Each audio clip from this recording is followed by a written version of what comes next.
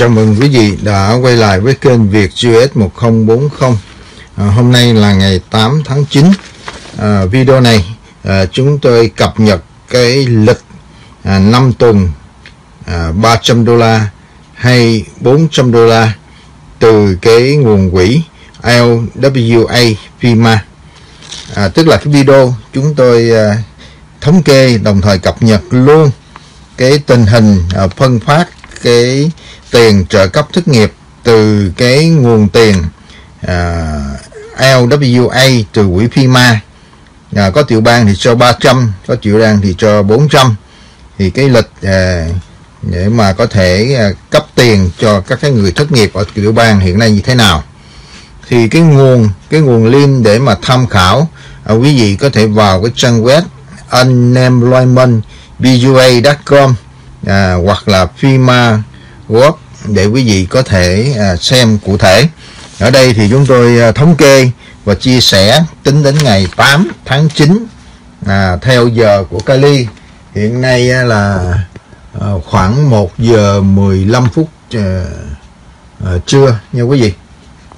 Thì à, khi chúng ta dòm vào um, cái trang liệt kê à, của cái web à, Unemployment VOA thì chúng ta thấy nó có những dòng trạng thái nó có những trạng thái như pay nó có những thái như là payment pending rồi nó có những dòng trạng thái như là apply à, vân vân. Đó là ba cái trạng thái phổ biến hiện nay.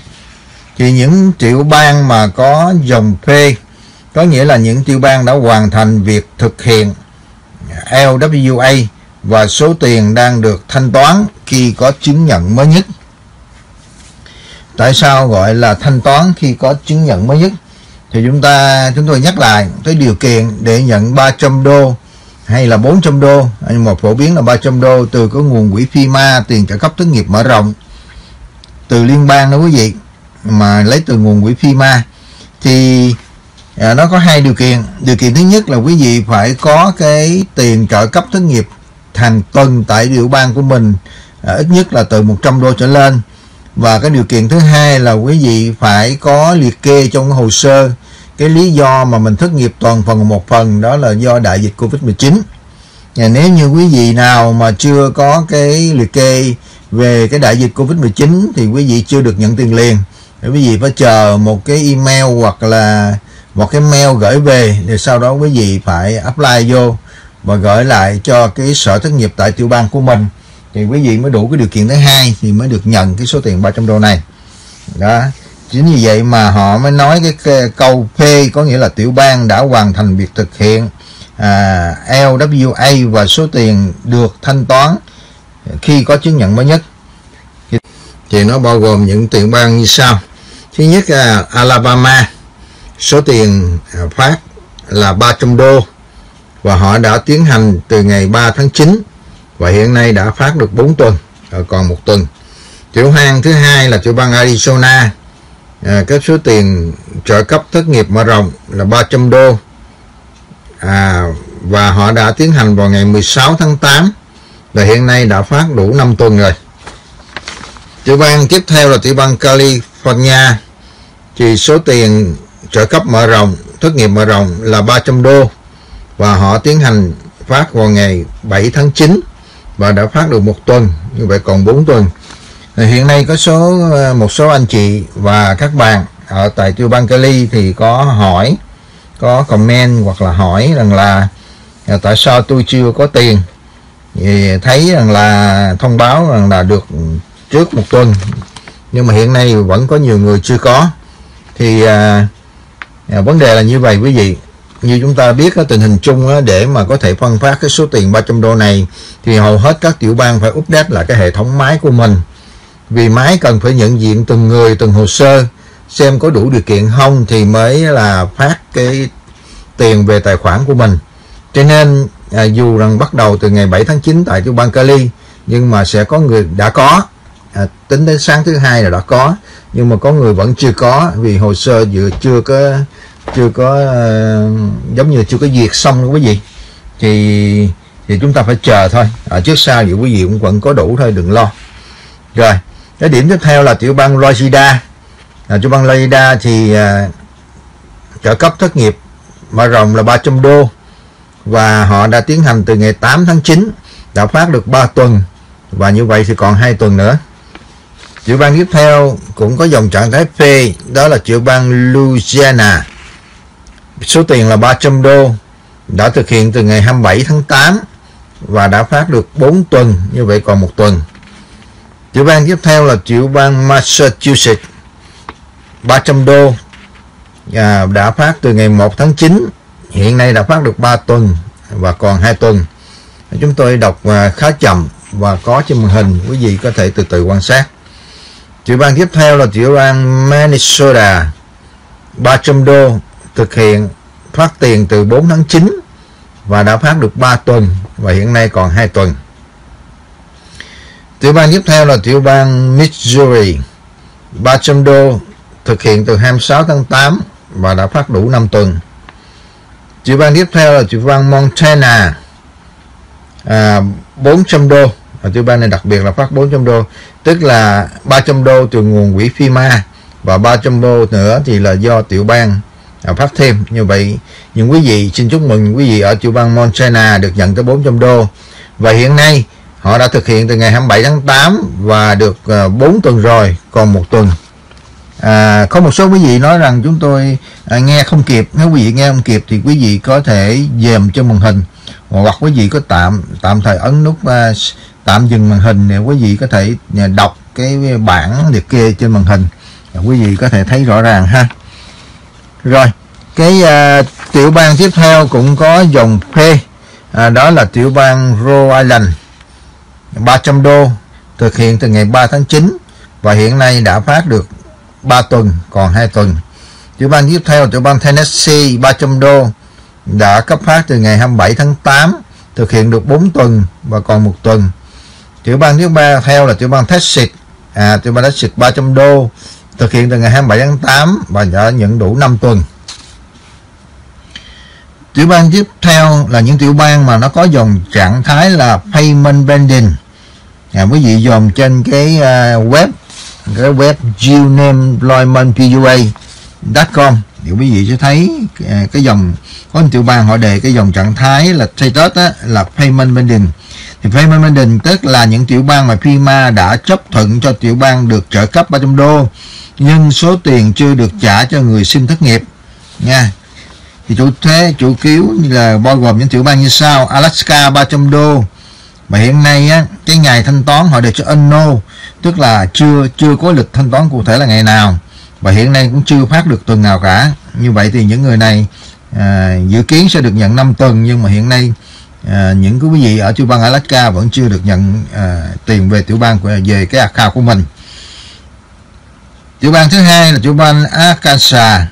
300 đô tình trạng cũng vẫn là unknown tức là chưa biết cái lịch phát tiền là vào ngày nào. Và hiện nay chưa có tuần nào được phát trên 5 tuần ha tiểu bang tiếp theo là tiểu bang Colorado 300 đô và họ có lịch phát là ngày 15 tháng 9 nhưng hiện nay thì chưa có phát tuần nào cả. Như vậy thì còn đủ 5 tuần chưa được phát ha. Tiểu bang tiếp theo là tiểu bang Connecticut 300 đô cũng có dòng trạng thái là payment binding lịch phát tiền của họ là vào ngày 18 tháng 9 và hiện nay thì chưa thanh toán tuần nào cả. À, quý vị chú ý là hầu như tất FIMA duyệt cho tất cả các tuần đều 5 tuần cả như quý vị. Nha tiểu bang tiếp theo là tiểu bang Delaware 300 đô dòng trạng thái cũng là payment pending và cái ngày à, phát tiền của tiểu bang Delaware thì chưa có cho nên nó có dòng chữ unknown và hiện nay cũng chưa thanh toán từng nào cả. Tiểu bang tiếp theo là tiểu bang Georgia 300 đô dòng trạng thái là payment pending và lịch phát tiền của họ là vào ngày 20 tháng 9 và hiện nay thì chưa có phát tuần nào cả. Dạ, trên tổng số 5 tuần. Tiếp theo tiểu bang tiếp theo nữa là tiểu bang Hawaii. À, 300 đô lịch phát tiền chưa có. Hiện nay vẫn chưa phát tuần nào trên tổng số 5 tuần. Tiểu bang Idaho lịch phát tiền là vào ngày 10 tháng 9 hiện nay chưa phát tuần nào cả trên tổng số 5 tuần. Tiểu bang tiếp theo là tiểu bang Illinois. Lịch phát tiền là ngày 8 tháng 9 hiện nay chưa phát tuần nào cả trên 5 tuần. Tiểu bang tiếp theo là tiểu bang Indiana. 300 đô lịch phát tiền là ngày 18 tháng 9 hiện nay chưa phát tuần nào cả trên 5 tuần. Tiểu bang Iowa 300 đô. Lịch phát tiền là vào ngày 12 tháng 9 và hiện nay cũng chưa phát tuần nào cả trên 5 tuần. Tiểu bang Kansas 400 đô. Lịch phát tiền là anno tức là chưa có và hiện nay chưa phát tuần nào cả trên năm tuần. À, xin chúc mừng quý vị ở tiểu bang Kansas. Hiện nay là à, được duyệt tới 400 đô lần 300 đô từ FEMA và 100 đô từ tiểu bang. Nhưng mà hiện nay thì chưa có lịch phát tiền à, quý vị phải ráng chờ một thời gian nữa. Ừ, có lẽ do tình hình máy móc đó quý vị chưa có update xong thì họ chưa có thể tiến hành phát tiền được tiểu bang tiếp theo là tiểu bang Kentucky 400 đô. Là cũng giống như Kansas, được 400 đô ha. Và cái lịch đã có là ngày 13 tháng 9 sẽ phát tiền. Và hiện nay thì chưa phát tuần nào cả trên 5 tuần. Tiểu bang tiếp theo là tiểu bang Maine 300 đô. Lịch phát tiền Ấn là chưa có và chưa phát tuần nào cả trên 5 tuần. Tiểu bang tiếp theo là tiểu bang Maryland 300 đô Ấn và chưa phát tuần nào cả trên 5 tuần tiểu bang Michigan 300 đô lịch phát tiền vào ngày 13 tháng 9 và hiện nay chưa phát tuần nào cả trên tổng số 5 tuần. Tiểu bang Mississippi 300 đô, lịch là anno, tức là chưa có lịch phát cụ thể. Hiện nay cũng chưa phát tuần nào cả trên 5 tuần. Tiểu bang tiếp theo là tiểu bang Hampshire 300 đô, lịch phát tiền là vào ngày 10 tháng 9. Hiện nay chưa phát tuần nào cả trên 5 tuần. Tiểu bang New Jersey lịch phát tiền Anno tức là chưa biết, mà hiện nay chưa phát tiền đồng nào cả trên năm, tuần nào cả trên năm tuần. Tiểu bang tiếp theo, tiểu Mexico, New Mexico. Lịch phát tiền là vào ngày 14 tháng 9 nhưng hiện nay chưa phát tuần nào cả trên năm tuần. Tiểu bang tiếp theo là tiểu bang New York 300 đô lịch phát tiền hiện nay chưa có, tức là Anno đấy và hiện nay cũng chưa phát tuần nào cả trên 5 tuần Tiểu bang tiếp theo là tiểu bang North Dakota 300 đô. Lịch phát tiền là unknown, chứ là chưa có lịch và cũng chưa phát tuần nào cả trên 5 tuần. Tiểu bang Ohio 300 đô. Tình trạng payday vẫn là unknown, tức là chưa có lịch phát tiền và cũng chưa phát tuần nào cả trên 5 tuần. Tiểu bang Oklahoma 300 đô chưa có lịch phát tiền và hiện nay à, cũng chưa phát tuần nào cả trên 5 tuần. Tiểu bang Oregon 300 đô dòng trạng thái của cái ngày phát tiền là unknown tức là vẫn chưa có lịch phát tiền và hiện nay chưa phát tiền tuần nào cả trên 5 tuần. Tiểu bang tiếp theo là tiểu bang Pennsylvania 300 đô lịch phát tiền là vào ngày 14 tháng 9 nhưng hiện nay chưa phát tuần nào cả trên 5 tuần. Tiểu bang tiếp theo nữa là tiểu bang South Carolina 300 đô. Hiện nay cái ngày phát tiền chưa có lịch và cũng chưa phát tuần nào cả trên 5 tuần. Bên điểm tiếp theo thì có tiểu bang Utah à, 300 đô. Unknown tức là chưa có lịch và à, đã phát hiện nay chưa phát tuần nào cả trên 5 tuần. Tiểu bang Vermont 300 đô lịch phát tiền chưa có à, vẫn chưa phát tuần nào trên 5 tuần tiểu bang Virginia uh, 300 đô uh, chưa có lịch phát tiền và chưa phát tuần nào cả trên 5 tuần. Tiểu bang Washington 300 đô có lịch phát tiền vào ngày 21 tháng 9 à, hiện nay chưa phát tuần nào cả trên 5 tuần. Tiểu bang West Virginia 400 đô. Hiện nay chưa có lịch phát tiền à, chưa phát tuần nào cả trên 5 tuần. À, như vậy tiểu bang West Virginia xin chúc mừng quý vị tiêu bang này sẽ tương lai sẽ được nhận tới 400 đô một tuần đợt à, và được nhận cho 5 tuần nhưng hiện nay thì chưa có lịch phát tiền. Quý vị ráng chờ một chút. Tiểu bang Wisconsin 300 đô. À, lịch à, phát tiền là unknown tức là vẫn chưa có và hiện nay chưa phát tuần nào cả trên 5 tuần. Tiểu bang Wyoming 300 đô lịch phát tiền chưa có và hiện nay cũng chưa phát tuần nào cả trên 5 tuần tiếp theo là những tiểu bang có dòng trạng thái apply. Ờ, thế nào là apply?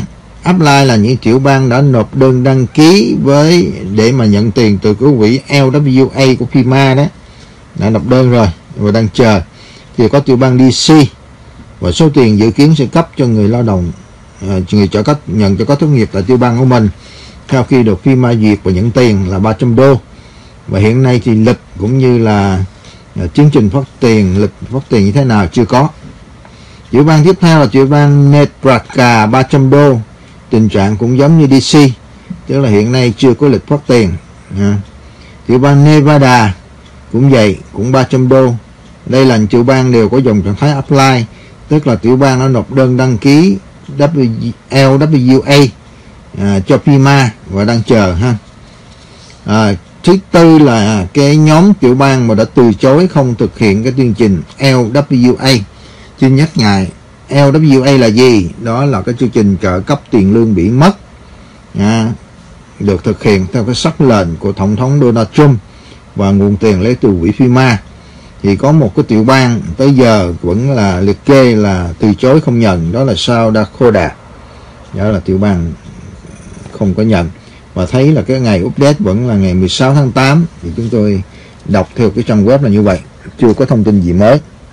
Kính thưa quý vị như vậy chúng tôi đã cập nhật xong cùng chia sẻ xong cái lịch để mà nhận cái tiền 300 từ cái L à, LWA tức là cái khoản tiền trợ cấp à, tiền lương bị mất.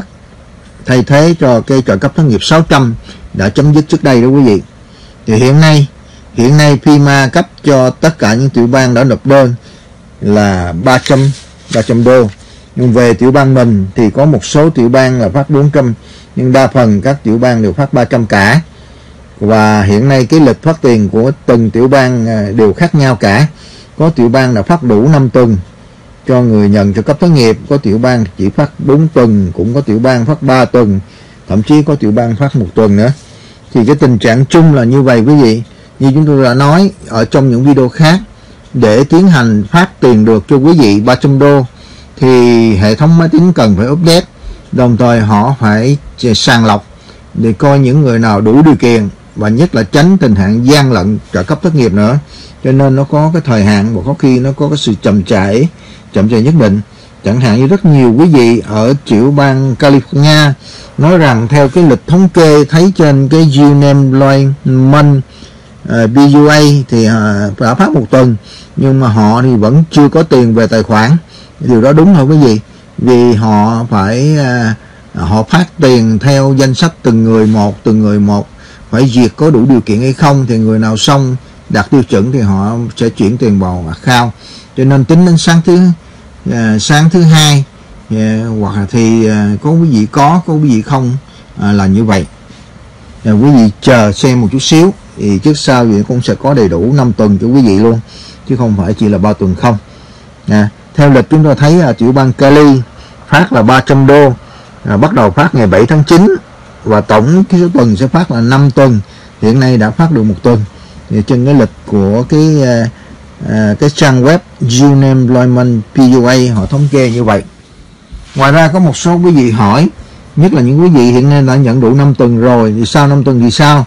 Thì câu trả lời như chúng tôi đã từng nói ở những video khác là cái nguồn quỹ FEMA để cấp cho cái khoản trợ cấp tiền lương bị mất này. À, nó gọi là chương trình LWA nó còn tiền hay không là tùy theo tình hình các tiểu bang đăng ký và số tiền còn lại. Vì cái quỹ FEMA là quỹ trợ cấp thiên tai cho nên là không biết nó còn tiền hay không nhất là khi xảy ra những cái thiên tai hiện nay như bão lụt hoặc cháy rừng chẳng hạn thì cái nguồn quỹ phải trích tiền ra. Thì sau cái năm tuần này nếu còn tiền thì FEMA sẽ tiếp tục rót tiền xuống cho các tiểu bang. Nhưng thông tin chung cho biết có thể họ rót rót hàng tuần một chứ không thoát một lúc mấy tuần nữa. Dạ, yeah, để họ canh theo cái số tiền họ còn hay không. Cho nên là mà hiện nay á, theo dự kiến chung khả năng của FEMA có thể phát khoảng 6 tuần quý vị mà hiện nay là đã nhận 5 tuần rồi nên trước mắt có khả năng quý vị sẽ còn một tuần nữa. Còn sau đó thì chưa biết thế nào. Chúng ta cũng phải à, chờ đợi xem tình hình như thế nào. Thì à, à, cái thông tin chia sẻ về cái lịch cấp phát 300 đô này từ nguồn quỹ FEMA chúng tôi nói 300 đô thôi thì cá biệt có những tiểu bang tới 400 đô nhưng mà nói chung là 300 đô. Thì cái cái lịch này chia sẻ cho quý vị để làm gì? Để cho quý vị có thể theo dõi xem xem tiểu bang của mình à, đã phân phát tiền tới đâu còn nếu như quý vị có những thắc mắc cụ thể liên quan đến trường hợp của mình ở từng tiểu bang, quý vị có thể liên hệ trực tiếp với sở thất nghiệp ở tại địa phương của mình để mà à, tìm hiểu xem tìm hiểu xem cái hồ sơ của mình như thế nào. Và đặc biệt là quý vị nên chú ý nhất là những quý những quý vị trước đây làm hồ sơ thất nghiệp, không có nêu cái lý do là mình thất nghiệp vì đại dịch Covid-19 hoặc bị ảnh hưởng vì đại dịch Covid-19 thì quý vị sẽ không phát tiền, được phát tiền trong cái đợt 1 có khả năng chuẩn vị sẽ phát tiền trong những đợt sau. Sau khi mà quý vị phải làm những cái đơn bổ sung khi mà cái sở thất nghiệp họ gửi về cho quý vị qua đường mail hoặc là email quý vị nhớ check à, cái inbox ở trên cái à, website online của cái địa phương của mình để xem mình có thư từ báo là mình cần phải ghi cái cái lý do mà mình đã thất nghiệp đặc biệt là lý do về đại dịch Covid-19 thì quý vị mới đủ cái điều kiện thứ hai để nhận cái khoản tiền trợ cấp 300 đô từ FIMA. Xin nhắc lại, xin nhắc lại, có nhiều quý vị đã nghe mà vẫn còn hỏi và rất nhiều quý vị hỏi là cái điều kiện để nhận 300 đô nó có tới hai điều kiện lần. Cái điều kiện thứ nhất là cái tiền trợ cấp thất nghiệp hàng tuần tại tiểu bang của quý vị phải ít nhất từ 100 đô trở lên và thứ điều kiện thứ hai là trong hồ sơ thất nghiệp của quý vị quý vị phải trình bày cái lý do mà quý vị thất nghiệp toàn phần hoặc một phần là do ảnh hưởng của đại dịch Covid-19 thì quý vị mới đủ cái điều kiện nhận 300 đô tức là mới được tham gia cái chương trình trợ cấp tiền lương bị mất. Mà tên tắt của nó là LWA thì cái thông tin mà của video mà chúng tôi chia sẻ tới đây là tạm chấm dứt. À, xin cảm ơn sự theo dõi của quý vị. Nếu quý vị thấy rằng các video của chúng tôi là hữu ích xin mời quý vị đăng ký like share để ủng hộ kênh. À, xin trân trọng cảm ơn và chúc sức khỏe toàn thể quý vị và các bạn rất nhiều.